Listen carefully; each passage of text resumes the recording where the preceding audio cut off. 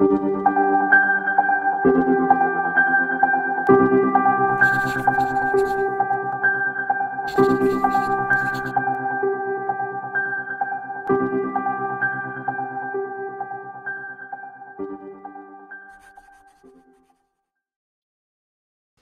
of all, let's just pray.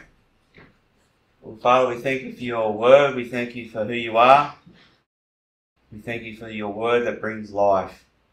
And Holy Spirit, I just pray that you would minister to each and every one of us today. That we, we would leave this place with a different perspective. And Father, that we would yield and submit to your word and who you are. In the name of Yeshua. Amen.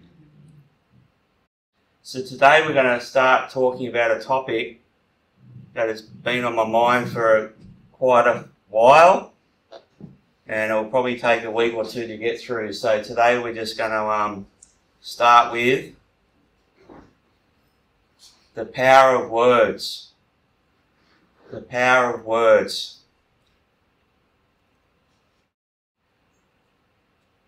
So the power of words, one of the most powerful forces on earth is produced by one of the smallest members of our body.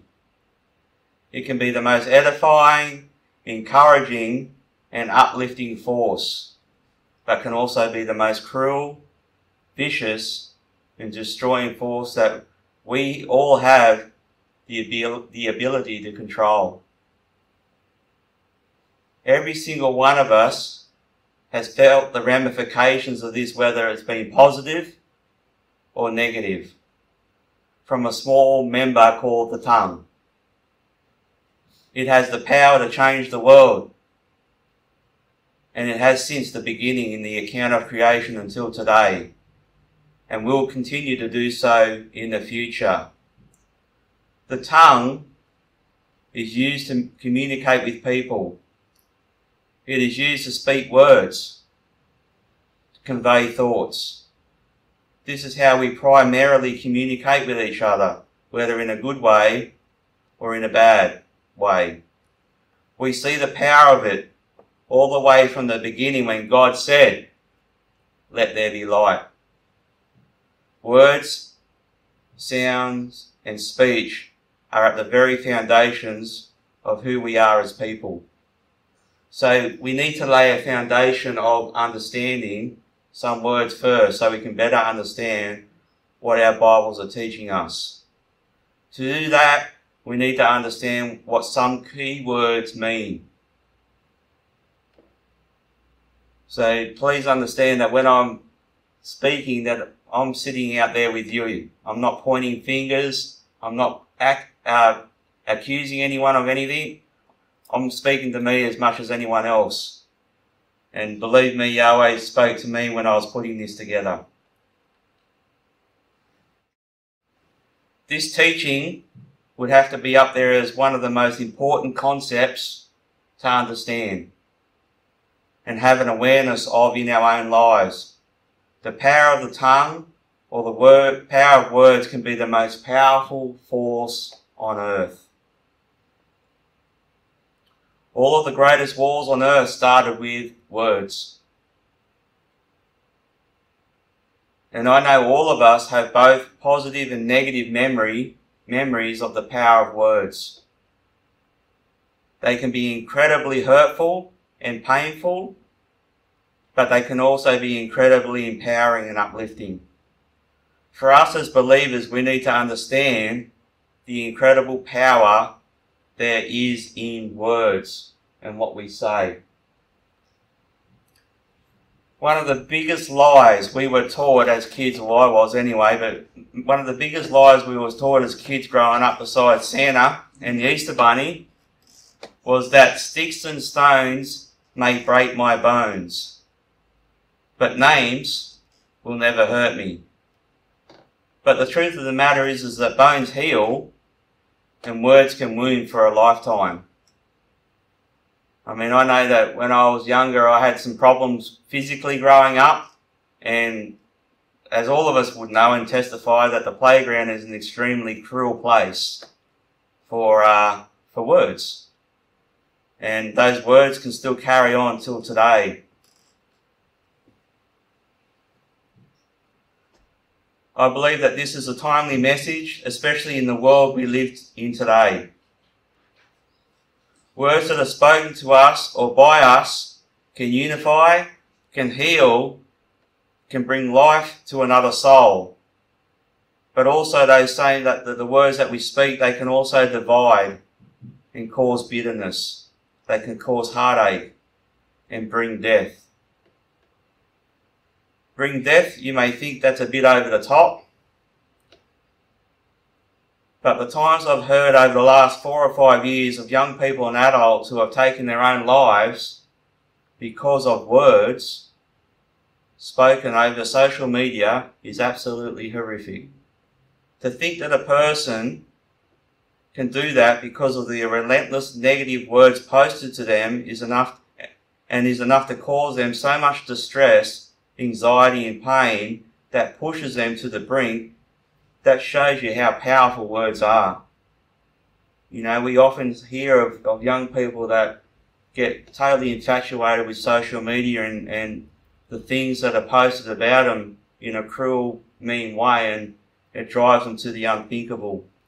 We live in a society where we are seeing more and more of this powerful force being used for evil. the most popular women's magazines are based in gossip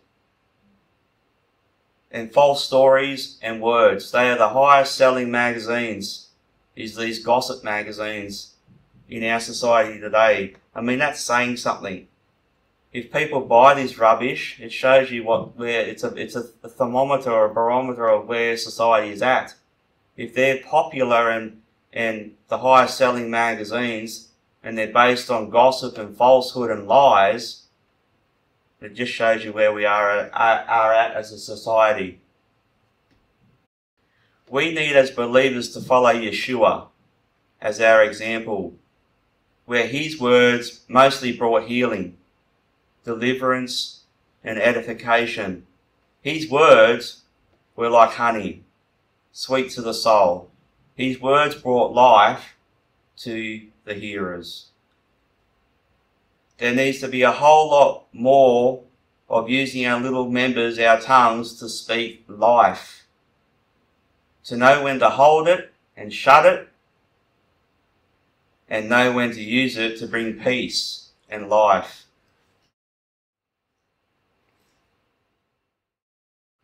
There are stories also of the power of the tongue and words people speak.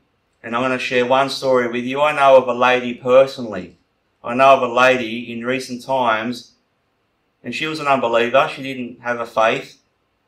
And she went to the doctors and wasn't well. And she kept saying things like, That's me. Next, I will get the dreaded C word, as in the word cancer. And within, within months, she died of cancer. You know, and there's multiple stories like that where people don't really understand the power of words. And this literally, she was literally speaking over her own life and what she kept saying to herself come to pass. Words are extremely powerful. Like I said at the outset, that it's one of the most powerful forces on earth. This happens more than we know. People actually are actually speaking these things into their lives. So we're going to start, we're going to, this, today we're going to explain some Hebrew words and some Greek words based in words and speaking and, and gossip and things like that. So first of all, the, the first word we're going to look at is the word tongue, because that's what we're talking about. The Hebrew word for tongue is lashon. Lamed shin vav nun the tongue as the organ of speech used for good or bad. So it's literally your tongue, the organ in your body. But it's also used idiomatically for thirsty, as their tongue being parched. One who's thirst, it's an idiomatic expression saying that I'm thirsty. My tongue's parched. It's also used in the sense of a speech impediment. Example, stammering or having a heavy tongue. This is what Moses said when Yahweh had an encounter with him at the burning bush. He said, oh, my, my tongue is heavy. I'm not eloquent of speech. And it's also used in the meaning of a person's language, their dialect, their tongue. It would be this word, one of the Hebrew words for that is Lashon. It's translated in our Bibles as the tongue, speech, language, and a couple of other things which I thought were interesting was a wedge. Maybe it's because of the shape of a tongue, maybe like a wedge. A bay. Maybe when you stick your tongue out, it looks like a bay. It also is used in the sense of slanderer, babbler, a flame, as we know, tongues of fire, talkers, and used in the sense of literature. And more literally, it's the wagging of the tongue when someone's talking or slandering. So we're going to look at a couple of examples of the Lashon in our scriptures. And the first example is the first occurrence of Lashon in our Bibles, which is Genesis 10.5. And it says, From these the coastland peoples of the Gentiles were separated into their lands, everyone according to his language according to their families into their nations. So in this verse, the word language is Lashon, according to his Lashon. That's their first occurrence in our Bibles. This is to do with language. Another example is Exodus 4.10. And it says, Then Moses said to Yahweh, O my Lord, I am not eloquent neither before nor since you have spoken to your servant, but I am slow of speech and slow of tongue. So in this word, in this one, it's the word tongue. I'm a slow of tongue. This is Moses communicating with Yahweh at the burning bush. And this is one of the probably, this is a very powerful verse and one that we really need to try and understand.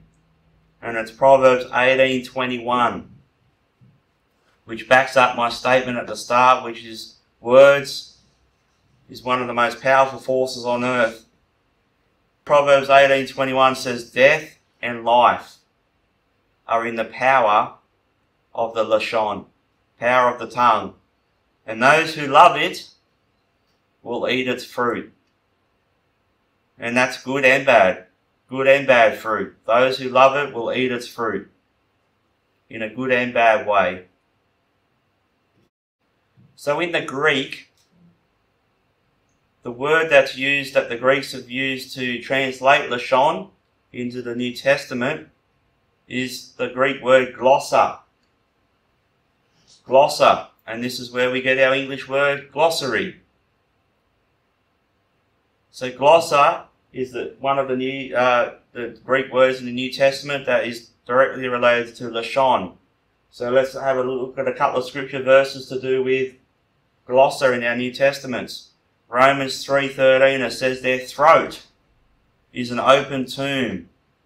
With their tongues they have practiced deceit. The poison of asp is under their lips. This is powerful stuff when it's talking about people speaking and talking. Another example is in Romans 14:11. For it is written, as I live, says Yahweh, every knee shall bow to me, and every tongue shall confess to God. So that word tongue is glossa, or if it was in Hebrew, would be lashon. And another example is in 1 Peter 3.10.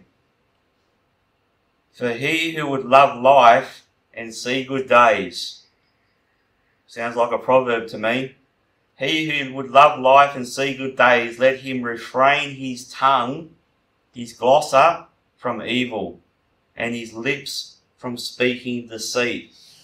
So if you want to see good days and love life, there's a certain way we need to speak and behave.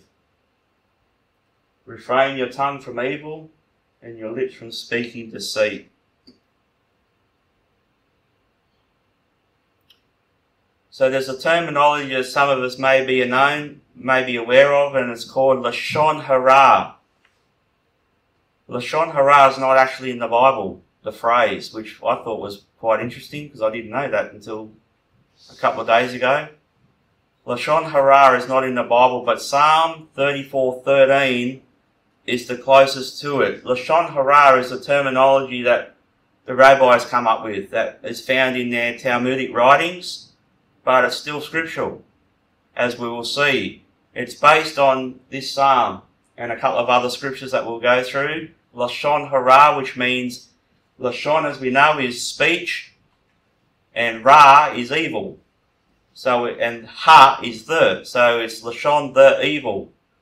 So to put it in English, it means evil, the evil speech, the evil tongue. So Psalm 34:13 says, "Keep your tongue from evil, and your lips from speaking deceit." So this is probably where Peter got his reference from in the scripture verse we read earlier. He was quoting this psalm most likely.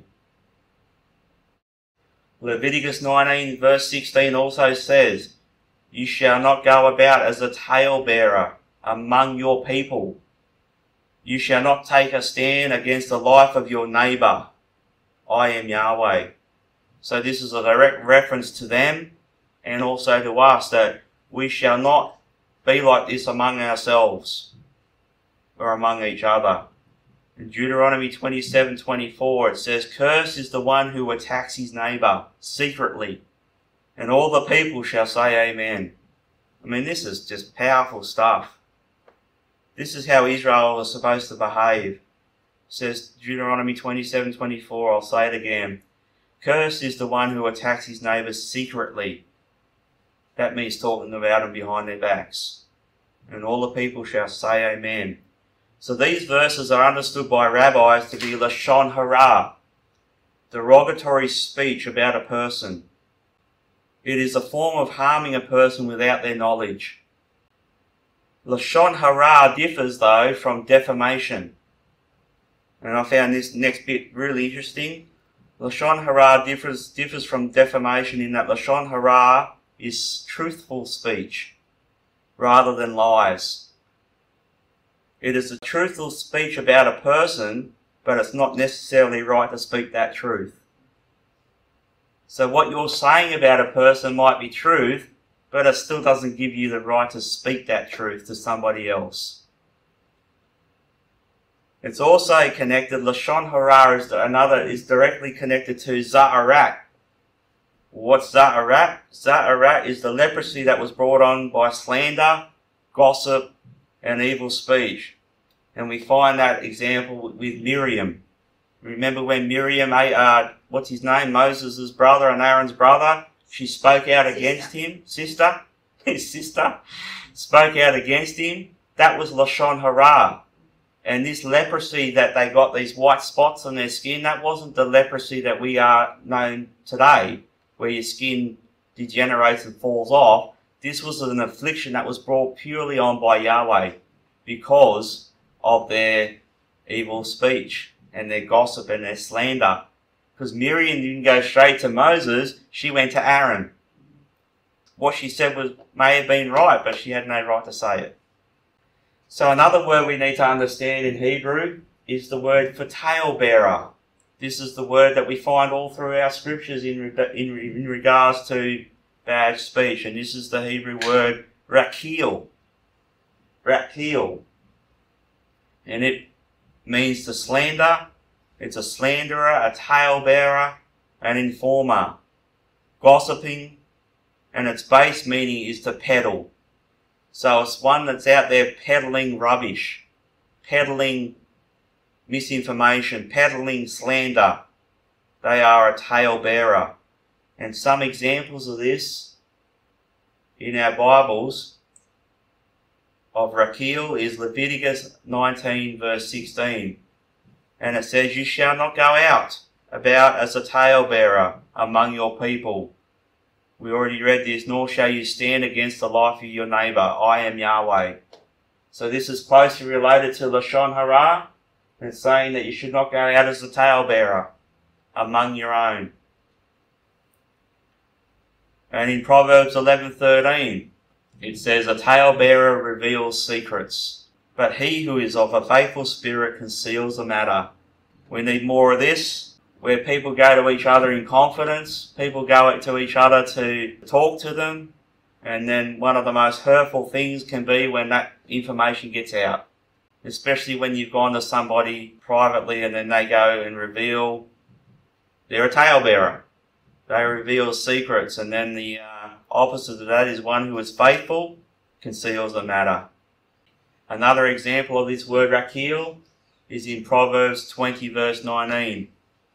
And that's very similar. He who goes about as a talebearer reveals secrets. Therefore, do not associate with one who flatters with the lips.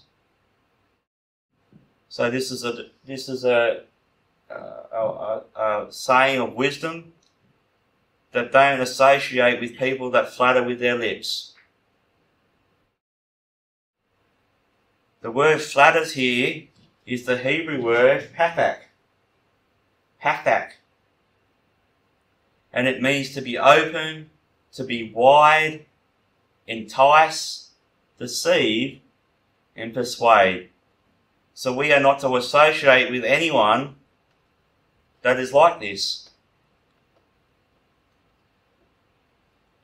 Their mouth is wide open and they reveal the secrets. They flutter with their lips for their own gain because they're enticing and deceiving and persuading and it'll always be for their benefit. So we'll look at the Greek equivalent to the word for a talebearer. In the Greek, the equivalent word for talebearer is dolos, and it means to speak deceitfully. And I find this interesting. It means to catch with bait. It's a lure, a snare. Craft and deceit with guile. This is how the, the, the Greeks explained the word dolos. It's interesting that it means to catch with bait. It's the word that they use for a lure. And let's look at some examples in the New Testament of this word. Matthew 26 4. And it says, and they plotted to take Yeshua by trickery. That word trickery is the word dolos. And they plotted to take him by trickery and kill him. They tried to set snares. They tried to bait him. They tried to trap him. And we also know that they bore false witness against him. In John 1.47 it says, this is in a positive sort of sense. Yeshua saw Nathanael coming toward him and said of him, Behold, an Israelite indeed, in whom there is no deceit, no dolos, no rakil. He wasn't a talebearer. He was a good, honest, righteous man. Another word we want to look at is the Hebrew word for speech. And that word is safar. Safar means the lip or your lips, edge, speech, the seashore, the bank of a river, and also a border. So your lip, the lip or the edge of something. It's also used as language as spoken from the lips. And we see the connection that the lips are the edge or the border of the mouth. So we can see why it's used as the seashore, because the seashore is the lip or the border of the ocean. The same with the bank of a river. So we talked about earlier in the Torah portion how Pharaoh had a dream and he stood on the bank. That's this word, Sephah. He was standing on the bank, he was standing on the edge of the river. It's that exact same word. Sephah, sorry. In Genesis 11.7, and it says, Come, let us go down there and confuse their language that they may not understand one another's speech. So in this particular verse, this word "sephah" is actually used twice. And it's used in the word language and speech. So this is Yahweh saying this is the, the incident of the Tower of Babel. And he says, Come, let us go down and confuse their language, that they may not understand one another's speech. Another example is in Leviticus 5 4. Or if a person swears, speaking thoughtlessly with his lips to do evil or to do good, whatever it is that a man may pronounce by an oath, and he is unaware of it, when he realizes it, then he, she, he shall be guilty in, the, in any of these matters. So this word lips is that word sephah, whatever that person speaks. In Proverbs 4.24 it says, Put away from you a deceitful mouth, and put perverse lips far from you. Put away from your, you a deceitful mouth, and put perverse lips, sephah, far from you. The Greek word for lip is kelios. Keli, sorry, kalios kaleos, and it means a lip. Speaking of the mouth, the seashore again, and banks of the river. And some New Testament examples of this word kilos is in Matthew 15:8. These people, we read this out in Bible study last week. These people draw near to me with their mouth and honour me with their lips, but their heart is far from me. That's that word kalios, the word lips.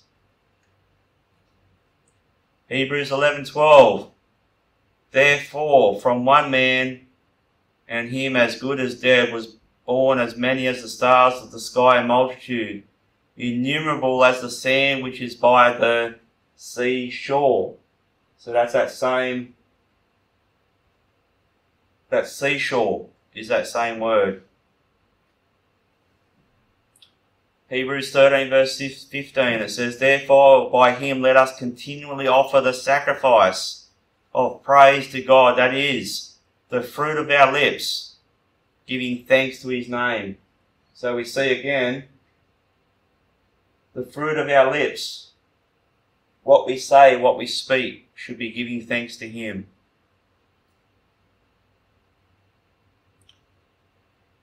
Another Hebrew word for speaking is dabar. This is probably the most common use of the word for speaking. Is the word bar? It is a verb, so it is an action of speaking. It is the action of speaking. It's the action of talking, and it is everywhere in our Bibles. When I looked it up, I think there was over two thousand references to this word bar. And an example is, and Yahweh spoke to Moshe, saying, that word spoke is the word bar. So it's the action of speaking, it's the actual verb. The Greek word for dabar is laleo. Laleo, and it means to utter a voice, emit a sound, to speak, to use words in order to declare one's mind and to disclose one's thoughts. So that's a very similar way of the word dabar in the Old Testament, very similar to the New Testament. And some examples of laleo in the New Testament is in Matthew 12 34. And it says, Brood of vipers. You're speaking to religious people? Brood of vipers, how can you, being evil, speak good things? For out of the abundance of the heart, the mouth speaks. So that this little thing, this tongue, is moved by what's inside us. It's often said that when you meet somebody, you can work out who they are within the first 10 minutes because of what they speak. You know what's in their hearts because of this verse. Out of the abundance of the heart, the mouth speaks. James 1.19 it says, So then, my beloved brethren, let every man be swift to hear and slow to speak, slow to wrath. Wow. I need some of that. Let every man be swift to hear and slow to speak. It's been said that's why we have two ears and one mouth. So we spend double the time of listening than speaking. So to wrap this up, we have learned today some words that are behind language, speaking, and the attitude behind how we speak we are starting to see by some of these scriptures the power that is associated with what we say. We create by the words we say, the environment around us. We create our lives by what we say. Another key is to not let words, this is a big one, another key is to not let words that are spoken define you. Not to let words that are spoken define who you are. This is a very hard thing to do, as we are all affected by what we hear, whether that is directly to us or by a third party. I mean, let's face it, it's not easy hearing criticism about you. We all have this happen from time to time. When this happens, we have a choice. We either go to the person directly, if possible, especially as believers, and sort it out, or we do nothing. We have to be ever mindful. This is another big key. We have to be ever mindful of not being that third party. Because if you are that third party, you're a talebearer. You're revealing secrets. So we have to be ever mindful of not being that third party in the first place. For many times it's the third party that gives the bad speech life and causes it to grow. That's what's called gossip and, and tale bearing. This is one of the ways Satan robs, kills, and destroys, especially among the believers. It's rife outside out, out in the world, it's rife, it's absolutely everywhere. But it should not be named among us as believers. And again, I'm not accusing anyone, I'm, I'm speaking to me as much as anyone else. Because Yahweh's called us to live a certain way. Yahweh has called us to behave a certain way. And trust me, this stuff is rife among churches. This stuff is rife among the believers no matter what denomination you go to, no matter what church is the, the name's over the front door, this stuff is rife and it's only going to get worse. And Yahweh has called us to be holy for He is holy. He has called us to be a set apart people. How do we do that? We do that through one of the ways is our speech. And the way we speak to one another, the way we talk to one another, and not only, not, not, and it's not just to one another, it's to others. It's to the way we communicate to those that are around us, our families, our world, the world that we live in. And this can be a very hard thing to do. But it's something that we need to do. It's something that we're called to do because we're called to be set apart. And we said earlier that it says that they shall know you because of your love for one another. They shall know you because you love one another. Now, love doesn't mean you don't have spats and disputes. Love means that you correct spats and disputes in a godly manner.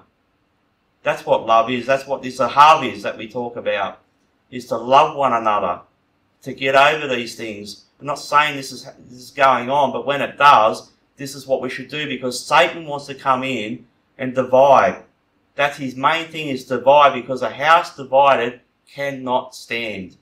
And if he can bring a division within the house, that's his goal. He wants to rob, kill, and destroy. So this is what we need to be like. We need to be the one with the hand up. We need to stop the third party. We need to stop it ourselves and be a witness and a testimony to Yahweh. So next week we're going to go further with this because we'll see throughout the scriptures that the words are the initiation and the beginning of everything in our Bibles. And we'll see how, how powerful and how effective that is both positively and negatively. But this week was all about just laying a foundation, understanding some of these terminologies in our Bibles, understanding the what's behind them in the in the Hebrew, and we've seen a taste today of who we are, who we should be, and who we shouldn't be. So on that note, we'll just close in prayer and let's speak words of life. Yahweh, I thank you for your word again, and your word is life. As David said over and over and over again in Psalms 119, your word is like sweet as honey. And Father, we pray that your Spirit would continually help us in this area. For Father, we all fall short. Father, forgive us where we have fallen into these areas. Forgive us when we've revealed secrets. Forgive us when we've told things that we shouldn't have. Father, forgive us. Father, for your word says that out of the abundance of the heart the mouth speaks. And Father, we have all sinned in this area. Father, we have all fallen short. Father, I pray that we would be a people that speak words of life in our relationships, in our marriages, Father, in our relationships with each other. Father, I pray that we would be a people that would speak words of life, that would edify, that would lift up, that would encourage. Father, I pray that we would be like that. And Father, help us when we fall short, when we struggle. Father, help us to resist that. For your word says, if we submit to you and resist the devil, he must flee. And Father, I pray when these issues and these circumstances come up that you would remind us by your Holy Spirit to behave a different way. Father, help us to be a people that love one another. Mm. For your name's sake. In the name of Yeshua. Amen.